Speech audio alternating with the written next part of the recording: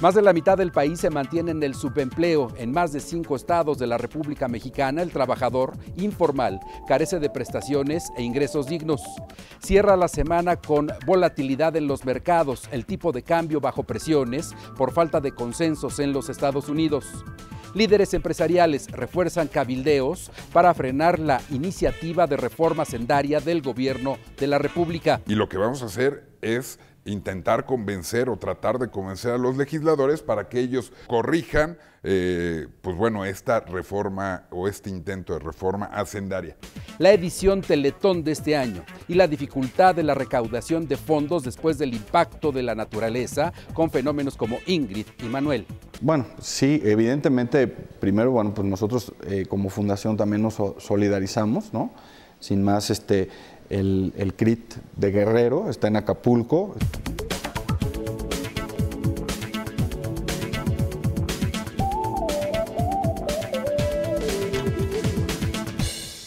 Bienvenido a Efecto Financiero. Mi nombre es Fernando Maldonado y tendré mucho gusto en llevarle los asuntos de interés y de su dinero en español. Las redes, por si quiere participar de este ejercicio, son arroba efecto-financiero y la de este reportero, arroba fermaldonado número 15. Hay un correo electrónico, fernando.maldonado arroba grupotribuna.com.mx y con esto vamos a comenzar.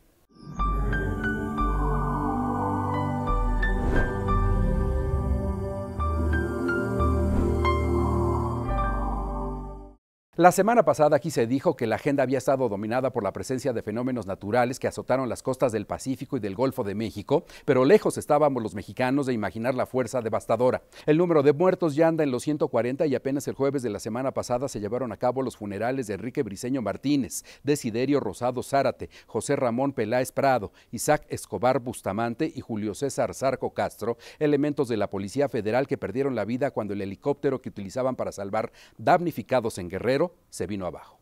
Ya habían realizado el trayecto en horas y días anteriores y con ello habrían contribuido al rescate de más de 600 personas en desgracia. Lamentablemente, esta fue su última misión heroica.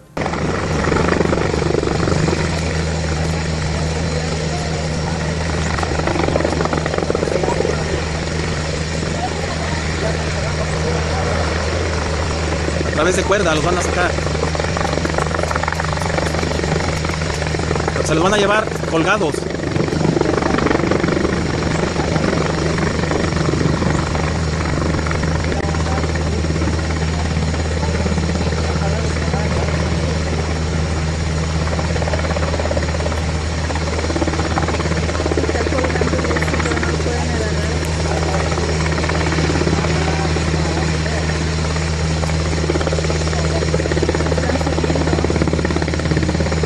Sí, ya los.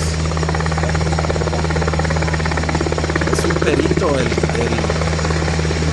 el helicóptero, es alguien que La estadística de la tragedia por el paso de Ingrid y Manuel sorprende. Hay más de 300 municipios con declaratoria de desastre. En 10 estados del país existen 35 mil viviendas dañadas. Guerrero concentra las mayores afectaciones con un 72%. Le sigue Tamaulipas con 47, luego Michoacán con 43 y Veracruz con 30%. Oaxaca concentra el 12%, en donde más de 50% de sus vías de comunicación resultaron dañadas. Ante las nuevas tormentas y frentes fríos, Comisión Nacional del Agua mantiene una estrecha vigilancia en 57 ríos. Comisión Federal de Electricidad contabilizó 830 mil usuarios afectados. Y la Secretaría de Turismo anunció que tras el paso de las tormentas en los destinos de playa, en Guerrero serán pagadas 340 mil noches gratuitas que fueron ofrecidas a los paseantes que fueron sorprendidos por los meteoros, además de poner en marcha la campaña publicitaria Acapulco está de pie. Y es esa razón por la que saludo en este espacio con mucho gusto a Alejandro Cañedo, un especialista en el tema del turismo. Alejandro, ¿cómo estás? Muy buenas noches. Hola Fernando, buenas noches, gracias por invitarme. Te pregunto, Alejandro, ante esta circunstancia por la que atraviesa la República Mexicana, ¿qué eh, suerte tendrá hacia finales de este año ciudades eh, claves como eh, Mérida, como Veracruz, como Puebla y otras entidades consideradas como ciudades patrimonio? Mira, México tiene 10 ciudades patrimonio. Somos uno de los países con mayor número después de Italia y de Alemania. Y esto nos permite que las ciudades tengan un valor único, excepcional e irrepetible. Tenemos ciudades como Campeche, Tlacoltalpan, Oaxaca, Puebla, Ciudad de México, Xochimilco, Morelia, eh, Guanajuato, Querétaro, San Miguel de Allende. De esas ciudades, junto con Zacatecas también, muestran al, al mundo y sobre todo a los distantes algo diferente que no van a encontrar en su lugar de origen. El perfil del turista que busca estas ciudades muchas veces no es el mismo que viaja a la playa. No necesariamente que una disminución en la oferta turística o la demanda hacia la playa va a incrementar la llegada a las ciudades. Estas ciudades son visitadas muchas veces por extranjeros que buscan conocer parte del pasado virreinal de México o de los mexicanos que quieren encontrarse con la historia. Pero nada más es la, la gastronomía o lo cultural, sino el ambiente. La gente vive las ciudades y eso hace que la ciudad sea más completa. Alejandro, el gobierno de la República ya anunció una campaña publicitaria intensa para poder recuperar el prestigio perdido en destinos como Acapulco. Parece repetirse la historia. Otra vez queda en un eh, segundo plano destinos coloniales como al que te refieres. tienen, sería muy bueno que la promoción de las ciudades patrimonio fuera más fuerte, que no se limitara solamente a ciertos recortes de prensa o ciertas eventos especiales, sino que también se subiera a una misma plataforma, que México se comparta todo lo que tiene. Y México es playa, pero también son catedrales. México es deporte extremo, pero también es gastronomía.